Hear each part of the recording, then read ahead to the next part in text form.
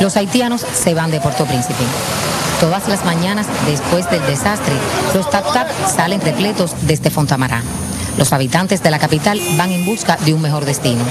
Aquí no tengo nada, voy allá a tratar de buscar vida. Este equipo de televisión viaja hoy a Yacmel, a 75 kilómetros de Puerto Príncipe. Allí también trabajan los médicos cubanos. Para salir de la ciudad hay que pasar por Marianí, en la comuna de Cafú, donde tembló bien fuerte la tierra. Así viven aquí después del sismo. Frente a ellos, los barcos de guerra de los Estados Unidos. Pero las tropas norteamericanas no solo están en Puerto Príncipe. En la carretera de Yacmel, en Darbone, efectivos de la Segunda División de Infantería de Marina se desplegaron fuertemente armados para, según el capitán Carpenter, distribuir ayuda humanitaria.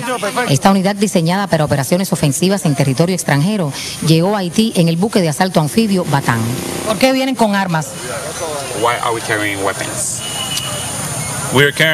Traemos las armas para poder como satisfechar a nuestra seguridad, porque con las armas nos vamos a poder hablar con la gente, calma, y ellos también van a entender que tenemos que tener seguridad. Pero hay otros países como Venezuela, Nicaragua, Chile, Cuba que están ayudando aquí y no vienen con armas. ¿Cómo es posible que ustedes tengan esa inseguridad y estos países latinos no la tengan? Las otras como naciones que están aquí. vienen sin armas, pero nosotros solamente para traerlo no quiere decir que estamos en guerra, es solamente para nuestra seguridad. Luego del paisaje imponente, el Hospital San Michel de Yacmel. Este fue el recibimiento. Ahora es el ejército canadiense. Eso no es lo que nosotros necesitamos aquí. Lo que, necesita, lo que se necesita aquí es agua potable, comida, medicamentos. Muchos de ellos dicen que son paramédicos, pero yo jamás en mi vida había visto un paramédico portando arma de fuego. Pregúntale si, bueno, si, si ella es doctora. ¿Es que usted es doctora? No. Sí, no, no le permiten hablar. No. Para interview. No, no, entrevista, no quiero entrevista. El paciente necesita ayuda médica, yo decía.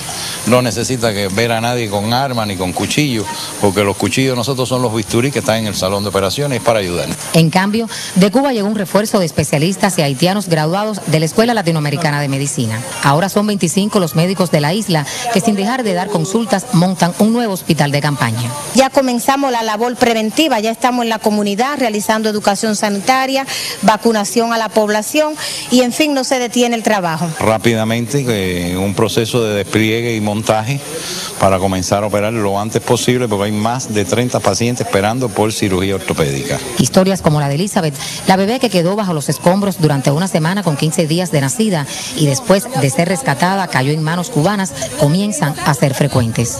Fue algo muy grande, le administramos los medicamentos y antes de una hora ya la niña había comenzado a orinar, había comenzado a orinar y se reguló bien su temperatura y ya después se le puso el pecho y comenzó a succionar. De verdad que ha sido una experiencia maravillosa. Fue como un milagro de la naturaleza y de los médicos cubanos.